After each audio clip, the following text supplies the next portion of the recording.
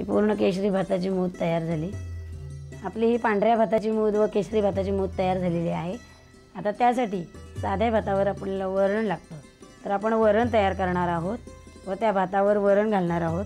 त्यासाठी पिवळा रंग वापरणार आहोत. हे रंग तयार खाण्याचे बाजारात कुठेही उपलब्ध असतात व याला खाण्याचे कलर वापरल्यामुळे हे पदार्थ वाया जाण्याची शक्यता नसते व ते आपल्याला केव्हाही खाण्यात उपयोगात आणता येतात. यासाठी थोडे पाणी घालावे.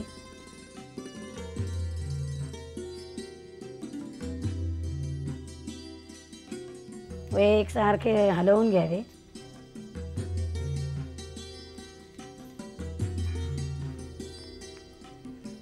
आणि या भातावर वरण वाढल्याप्रमाणे वरण वाढावे.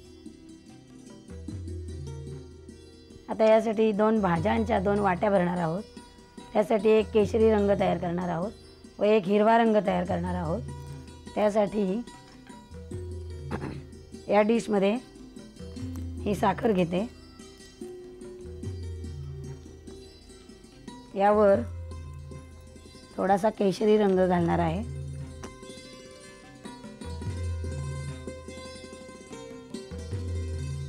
त्यालाही थोडेसे ओलसरपणा येण्यापुरते दोन थेंब पाण्याचे टाकावेत व ती एक साखर एकसारखी कालवून घ्यावी. आता आपल्या स्वयंपाकाच्या भाषेत म्हणायचं झालं तर हे रस्सा बटाटा भाजी किंवा रस्सा लाल भाजी याप्रमाणे ही भाजी तयार होते. ती आपण या एका वाटीमध्ये भरणार आहोत.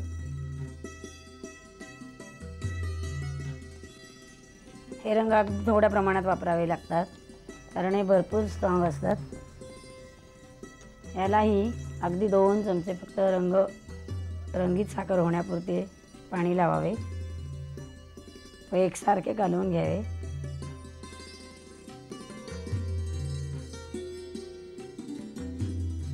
हा झाला हिरवा रंग तयार. आता हिरवी भाजी म्हणून आपण या वाटीत भरणार आहोत.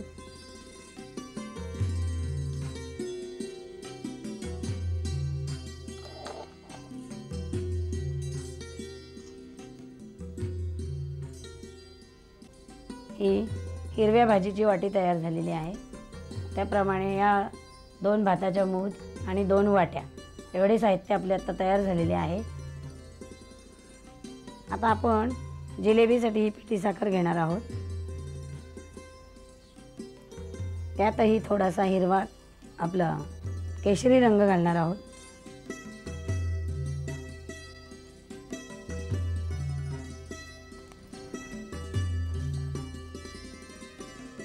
त्यासाठी थोडे पाणी.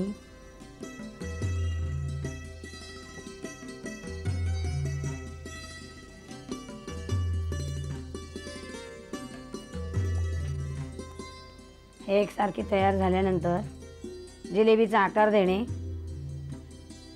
हे आपले ताट पूर्ण झाले पण आपण जेवायला बसलो की तांब्या भांडे हवं असतं पाणी पिण्यासाठी. त्याप्रमाणे हे तांबे भांडं तयार करून ठेवलेलं आहे. पूर्ण प्लेन न ठेवता त्याला थोडंसं डिझाईन केलेलं आहे. तेही खाण्याचे कलर वापरूनच केलेलं आहे. व हे ताट आणि तांब्या भांडं असं सेट पूर्ण झालेलं आहे.